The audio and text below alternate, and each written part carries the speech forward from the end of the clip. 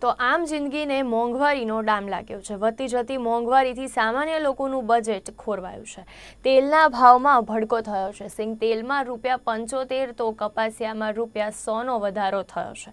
જ્યારે સિંગ તેલના ડબ્બાના ભાવ બે હજાર પાંચસો પચાસ રૂપિયા અને કપાસિયા ઓગણીસોથી બે હજાર રૂપિયા થયા છે. આજે મોંઘવારીનો માર લોકોને પડી રહ્યો છે. તે વિશે અમદાવાદની જનતાનું શું કહેવું છે તે વિશે જાણીએ અમારા સંવાદદાતા બિરેન જાદવ પાસેથી, જે સીધી જ લોકોની પ્રતિક્રિયા મેળવશે. જી બિરેન. તો વધતી જતી મોંઘવારી જે છે તેના અંગે અમદાવાદના જે લોકો છે તેમનું શું કહેવું છે તે અમે આપને જણાવવાનો પ્રયાસ કર્યો હતો. તો જે વધતી જતી મોંઘવારી છે તેનાથી સામાન્ય લોકોનું બજેટ ખોરવાયું છે. તેલના ભાવમાં ભડકો થયો છે અને સિંગ તેલમાં રૂપિયા પંચોતેર તો કપાસિયામાં રૂપિયા સોનો વધારો થયો છે. સિંગ તેલના ડબ્બાના ભાવ બે હજાર પાંચસો પચાસ રૂપિયા જ્યારે કપાસિયાના ઓગણીસોથી બે હજાર રૂપિયા થયા છે. ત્યારે મહિનામાં સતત ત્રીજી વાર એલપીજી સિલિન્ડરના ભાવમાં વધારો થયો છે. સિલિન્ડરના ભાવમાં રૂપિયા પચીસનો વધારો કરવામાં આવ્યો છે. જ્યારે સબસિડી વગરના બાટલાની કિંમત સાતસો ચોરાણું રૂપિયા પહોંચી છે. જ્યારે પેટ્રોલ ડીઝલના ભાવ પણ સતત વધતા રહે છે. તો જે લોકો છે એ મોંઘવારીનો ડામ સહન કરી રહી છે. તો આ અંગે જે સુરતના લોકો છે તેમનું શું કહેવું છે તે જાણવાનો પ્રયાસ કરીએ. તો અમારા સંવાદદાતા મેહાલી પટેલે સુરતના લોકો જોડેથી તેમની પ્રતિક્રિયાઓ જાણવાનો પ્રયાસ કર્યો હતો.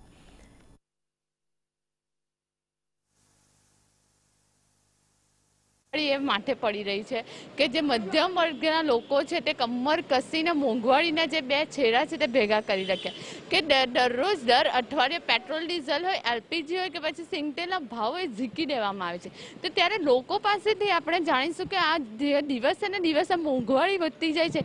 એને લઈને એમના જે જીવન જરૂરિયાતની વસ્તુઓ છે તેને પૂરી કરવા માટે કેટલી મહેનત કરવી પડે છે અને કેટલી મુશ્કેલી કરવી પડે. જે આપણે જે રીતે વાત કરીએ કે સિંગટેલના ભાવમાં દિવસે ને દિવસે વધારો થતો જાય છે. તો ત્યારે આપણે ગૃહિણીના બજેટની વાત કરીએ તો તેમાં કેવા પ્રકારની અસર પડે છે? ખરેખર તો જોવા જઈએ તો મોંઘવારી ખૂબ જ વધી ગઈ છે. તેમજ પેટ્રોલના ભાવ હોય કે તેલના ભાવ હોય કે બધી જ વસ્તુમાં દિવસે ને દિવસે ભાવમાં વધારો થઈ રહ્યો છે. એટલે ખૂબ જ મુશ્કેલ પડી રહી છે.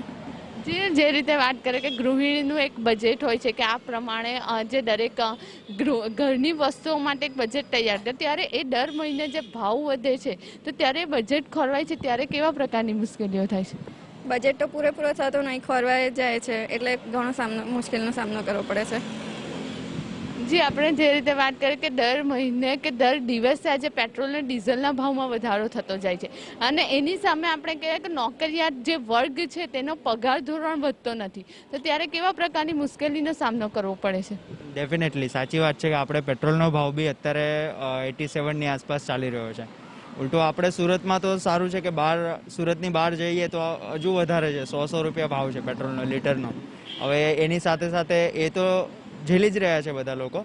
બરાબર છે ને? પણ એની સાથે જે અત્યારે ગેસમાં ગેસના ભાવમાં વધારો થયો છે. એલપીજીના ભાવમાં જે વધારો થયો છે. એના લીધે હવે તો એવું વિચાર આવે છે કે આમ આદમી હોય જે નાનો માણસ છે, આપણે તો ચલાવી લઈએ. આપણે નોકરિયાત માણસ છે, બરાબર? સેલરી પર ચાલી જાય. પણ જે જે સેલરી પર કામ નથી કરતા, જે નોકરી પર કામ નથી કરતા, એ લોકોનું શું થતું હશે? અત્યારે તો એવો વિચાર આવે છે. કે એ લોકો તો ભૂખા ભૂખા બી મરી શકતા હોય છે. એ રીતે અત્યારે એ રીતનો વિચાર આવે છે. જી, જે રીતે વાત કરવામાં આવે કે કોઈ પણ પાર્ટી પક્ષમાં આવી જાય છે, ત્યારે સૌથી મોટો મુદ્દો એ મોંઘવારીને લઈ કે જ્યારે આજે આપણે સ્થાનિક સ્વરાજની ચૂંટણીમાં પણ વિપક્ષ દ્વારા કહેવાય કે જે મુદ્દો હતો મોંઘવારીનો તેનો વિરોધ કરવામાં આવ્યો હતો, પરંતુ તેની કોઈ અસર દેખાઈ નથી. ને તેની વચ્ચે મધ્યમ વર્ગીય લોકો પીસતા રહ્યા છે. શું કહેવું છે? મધ્યમ વર્ગની તો હાલત એટલી ખરાબ છે ને બેન કે કહેવામાં આવે ને કે લોકો એ સેલેરી વર્ગ હોય કે કોમન વર્ગ હોય ને તો સેલેરી આવતા પહેલાં જ વિચારવું પડે છે કે ભાઈ સેલેરી તો આખી પૂરી જ થઈ જવાની છે. એ બીજા ખર્ચા જેવા કે ભાઈ લોકોના છોકરાના ખર્ચા હોય કે ભાઈ માણસના પોતાના જ ખર્ચા હોય, પેટ્રોલના હોય કે, કોઈ પણ ખર્ચો હોય એ બધું કાઢવાની સેલેરી એટલી વધી ખર્ચો એટલો વધી જાય છે ને, કે સેલેરી આવતાની પહેલાં જ પૂરી થઈ જાય છે. ને એ પેટ્રોલના ભાવ એટલા વધી ગયા છે, શાકભાજીના ભાવ એટલા વધી ગયા, એટલે માણસ ક્યાં જાય ને, જે સત્તા પક્ષ હોય કે વિપક્ષ વિપક્ષ પક્ષ હોય બંને એમ કહે છે કે ભાઈ અમે મોંઘવારી ઘટાડીશું ઘટાડીશું ઘટાડીશું. પણ એવું કંઈ થતું મને અત્યાર સુધી તો લાગ્યું નહીં. હવે આ જે ચૂંટાઈને આવેલા છે, એ લોકો પણ મને લાગતું નહીં કે મોંઘવાળીનું કંઈ ઓછું કરી શકે. કેમ કે દરેક વસ્તુ એટલી વધી ગઈ છે.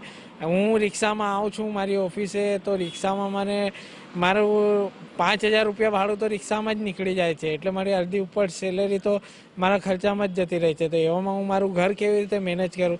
મારું પોતાનું પર્સનલી ખર્ચો કેવી રીતે મેનેજ કરું? મોબાઈલ રિચાર્જનું હોય કે કોઈ પણ વસ્તુ હોય, દરેક વસ્તુમાં એટલો વધારો થઈ ગયો છે કે એની કોઈ લિમિટ જ નથી. ને દિન પ્રતિદિન દરેક વસ્તુમાં વધારો વધતો જ જાય છે. સવારે જ મેં ન્યૂઝમાં વાંચ્યું કે ભાઈ ગેસની બોટલમાં પાછો કોઈ પચીસ રૂપિયાનો વધારો આવ્યો છે. તો હવે હું મારો ઘર કેવી રીતે ચલાવું મને સમજ પડતી નથી. કેમ કે દરેક વસ્તુમાં એટલો ખર્ચો વધી ગયો છે, ગેસની આ તો વાત થઈ. પેટ્રોલમાં હું પુરાવા જાઉં તો દરેક વખતે જ્યારે પેટ્રોલ પુરાવા જાઉં ત્યારે મને ખબર પડે છે કે ભાઈ પચીસ પૈસા વધી ગયા, બે રૂપિયા વધી ગયા. એટલે દરેક કોઈ વસ્તુ બાકી નથી કે ભાઈ જેમાં મારું ઘર ચાલી જાય એવું કંઈ મને નહીં લાગતું.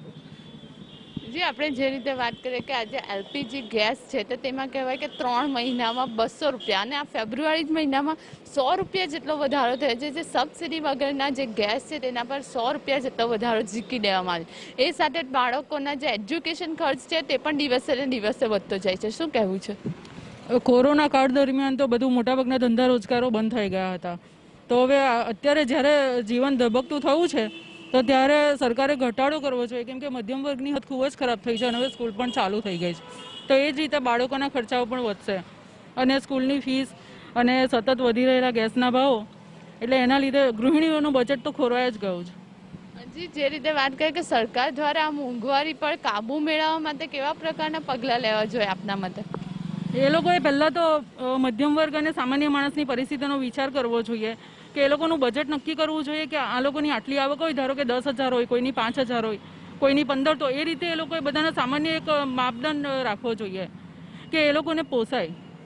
બાકી તો બધાની હાલત પછી ખરાબ જ થવાની છે. જી આપણે જે રીતે વાત કરીએ કે પેટ્રોલ ડીઝલના તો ભાવ વધે છે પરંતુ આજે આપણે વાત કરીએ કે મોબાઈલ રિચાર્જ ઇન્ટરનેટ સેવા પણ લોકોની એક જરૂરિયાત બની ગઈ છે.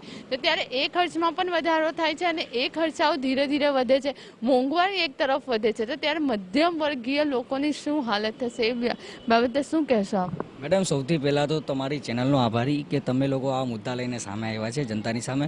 ને જે હિસાબે તમે મોબાઈલ રિચાર્જની વાત કરી મોબાઈલ રિચાર્જ એક સમયમાં આપણે કોઈ સત્તાને કે અ, વિપક્ષની કે સત્તા પક્ષની વાત નથી કરતા, જે પણ હોય, સત્તામાં હોય કે વિપક્ષમાં હોય, આજે માત્ર પોતાનો રોટલો શેકવા માટે રાજકીય રોટલો શેકવાનું કામ કરે છે, મોંઘવારી ઉપર કે ગરીબી, બેકારી ઉપર કોઈનું ધ્યાન નથી.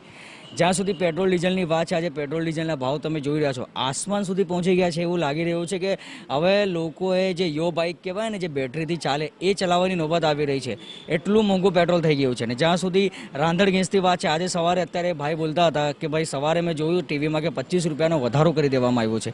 તો રાંધણ ગેસની બોટલમાં તમે આટલો અંત સુધી તમે વધારો કરો ને એક તરફ તમે વાત કરો કે અમે ગરીબી દૂર કરશું, બેકારી દૂર કરશું. અરે સાહેબ, કોરોનાના અંદર તમે જુઓ મધ્યમ વર્ગીય લોકોની હાલત શું હતી?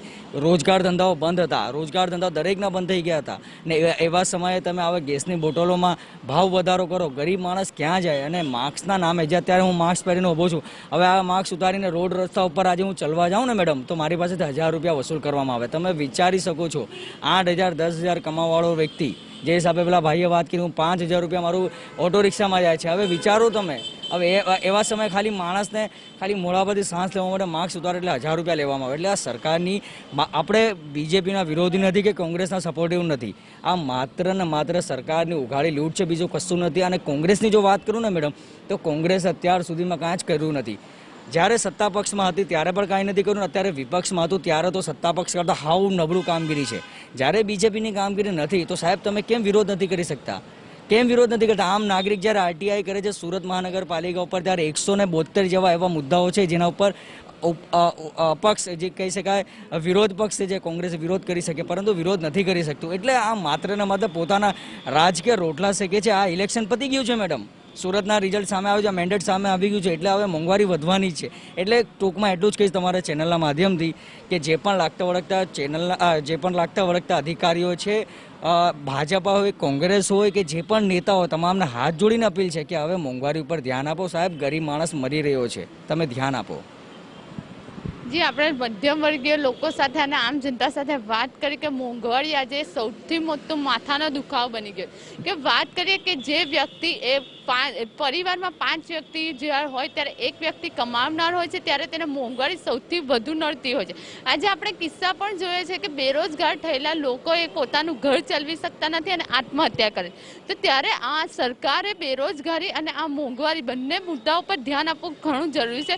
જેથી મધ્યમ વર્ગીય લોકો એ માત્ર કહેવાય કે પોતાના જે કહેવાય ખર્ચા ઘરના હોય તે આરામથી કરી શકે. કેમેરામેન આનંદ ગુરવ સાથે મેહાલી પટેલ, સુરત. તો આજે વતી